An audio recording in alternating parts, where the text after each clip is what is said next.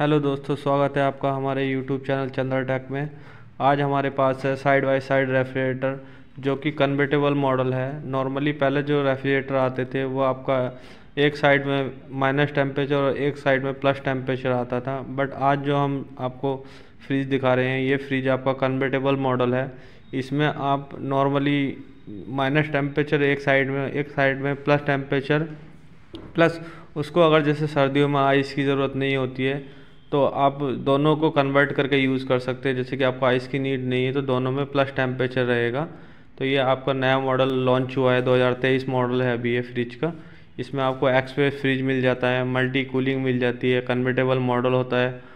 और express fridge मिल जाता है, जब कभी अगर फास्ट कूलिंग की नीड है तो वो यहाँ पे मिल जाएगा।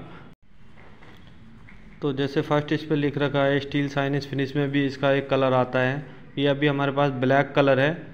यहाँ से जैसे हम फ्रीज़र का डोर ओपन करेंगे तो इसके फ्रीज़र साइड में भी लाइट रहती है, एलईडी बल्ब लगा है उसके अंदर और डोर में इसके बास्केट दे रखे होते तो टॉप पे एक बास्केट दे रखा है, जैसे आइसक्रीम वगैरह या कुछ ऐसा स्टोर करना चाहते हैं नीचे दे रखा है आइस मेकर जिसमें कि आपको आइस क्यूब ट्रे मिलती है, इसके अंदर पानी भर के रखेंगे तो आइस क्यूब बन जाएगा। नीचे दो बास्केट और दे रखे हैं, जो भी माइनस फ़ूड आप रखना चाहें, नीचे एक बास्केट दे रखा है जैसे कि अगर नॉन वेज वगैरह स्टोर करके रखना चाहते हैं तो या ऊपर और रैक दे रखी है। कोई भी फ्रोजन मटेरियल जैसे पनीर वगैरह या मटर के दाने आप स्टोर करके रखना चाहते हैं तो इसको हम कन्वर्ट भी कर सकते हैं। जैसे सामने मेंशन किया है कन्वर्टेबल ऊपर टॉप में एक एलईडी लाइट दे रखी है इसके अंदर। और यहाँ पे रैक दे रखी है। दूसरी साइड में दे रखा है मल्टी एयर फ्लो तो ये आपका प्लस टेम्परेचर जोन है। यहाँ पे कोई भी फ़ूड आप रखेंगे तो नॉर्मली ठंडा रहता है मतलब प्लस में टेम्परेचर कूलिंग करते हैं। टफन ग्लास रहते हैं इसके अंदर, जो कि एक सौ पचहत्तर के जी पे टेस्टेड रहते हैं। नीचे इसमें वेज बास्केट दे रखे हैं आप, फल या सब्ज़ी इसके अंदर स्टोर करके रख सकते हैं, जो कि फ्रेश रहते हैं इसके अंदर। साइड में रैक दे रखी है, इसके अंदर एक और एक्स्ट्रा बोतल रैक दे रखी होती है, अगर आपको कुछ नीड है, जैसे एग वगैरह अगर स्टोर कर, रखना चाहें नॉर्मली रखेंगे तो वो लुढ़कते रहते हैं, एक साइड में गिर जाते हैं तो उसके अंदर आप करके रख सकते हैं या कोई भी बॉटल वगैरह भी रख सकते हैं। ऊपर यहाँ पे और दे रखा है, जैसे आपको कुछ भी स्टोर करना है तो आप यहाँ पे बहुत सारा स्पेस इसके अंदर दे रखा है स्टोर करके आप रख सकते हैं। ये आपका प्लस टेम्परेचर में रहता है। नॉर्मली जो डेली यूज़ की चीज़ें रहती हैं, वो आप इसके अंदर स्टोर कर सकते हैं।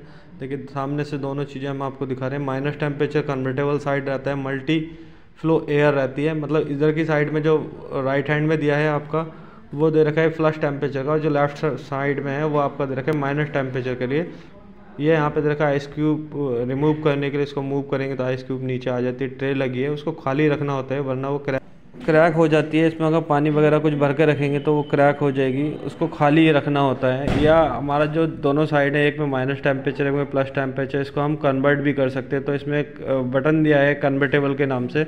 हम उसको अगर थ्री सेकेंड प्रेस करके रखेंगे तो जो हमारी माइनस टेम्परेचर वाली साइड है, वो भी प्लस टेम्परेचर में कन्वर्ट हो जाती है। और हम उसमें भी नॉर्मली फ़ूड रख सकते हैं, उसमें आपकी आइस नहीं बनेगी।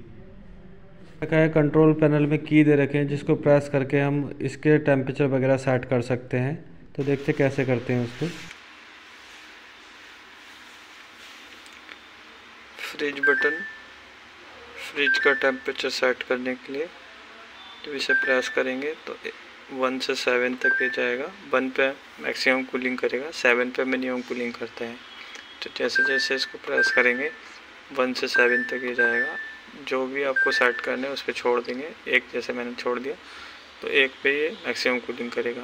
नीचे देख रखा है फ्रीजर का टेम्परेचर सेट करने के लिए।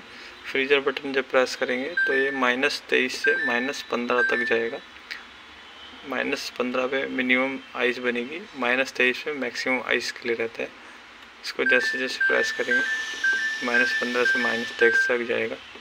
नॉर्मली इसको माइनस अठारह पे चलाना होता है तो माइनस अठारह पे। सेट कर दिया मैंने।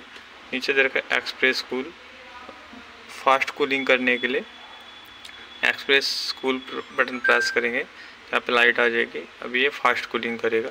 नीचे दे रखा एक्सप्रेस फ्रीज फ्रीजर में जल्दी आइस बनाने के लिए एक्सप्रेस फ्री यूज़ करते हैं। तो इसको प्रेस करेंगे, इसकी भी यहाँ पे लाइट आ जाती है। इसको ऑफ़ करने के लिए फिर दोबारा इसको प्रेस करेंगे, बंद हो जाएगा। इसी तरीके से एक्सप्रेस कूल भी दोबारा प्रेस करेंगे तो ये बंद हो जाएगा।